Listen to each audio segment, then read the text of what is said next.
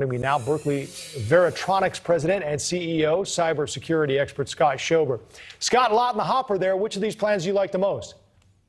They're all actually good because they're actually doing something. And I think that's what's really important. There's been a lot of talk in the past. Uh, it's nice to see the Biden administration seems to be actually um, taking some initiative. I did check out the website there, the, the Stop Ransomware, and there was actually some pretty good information on there, practical information, and it's really geared toward the public, which I think is interesting. So, public companies, small business owners, others that really need help and, and need to understand what a ransomware attack is, what are some preventative things that they could do so they could be proactive, and if they are a victim, what's the most important thing to do? And there's actually resources there, your local uh, mm-hmm. offices, mm-hmm. the FBI, the Secret Service, all the links and the information, who to contact and what to report to them so they can work together, both private and public together to, to stop some of these terrible ransomware yeah, attacks. I guess that's the next question. How effective do you think that will be? I mean, it's sort of a first line of defense that some of these small companies don't have right now?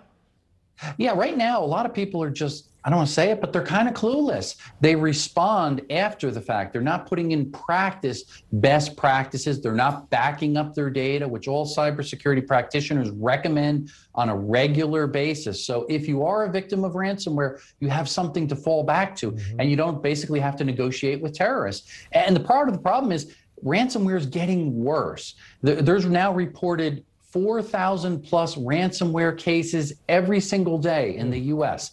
That's really bad. Well, it certainly is. Money talks, uh, as we know, yeah. Scott. So th- this new uh, idea to have this fund to pay people, maybe even on the dark web, right, to, to sort of counter these hackers and help the U.S. find them.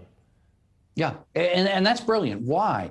Think how big tech companies work right now. They, they have vulnerabilities within their software. And what do they have? They have a bug bounty program, which handsomely rewards hackers, usually white hat hackers that are honest guys that are finding these vulnerabilities and they share it with the company so they can make software more secure. Mm-hmm. It's the same kind of principle, but a little bit different light. This is, hey, let, let some good guys go find the bad guys on the dark web and on social media and other things and report it so we could work together, private and public, and we could stop some of these attacks before they actually come to fruition. We hear most of these based in Russia, Scott. Uh, which is the bigger threat, Russia or China on this?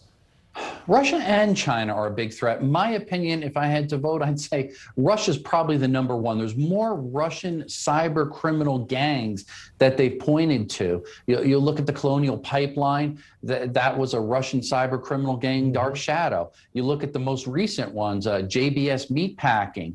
Uh, that's certainly, again, pointed that's to Russia. evil one, evil. right? Yeah, yeah which has now gone dark. What do you think's happened with that?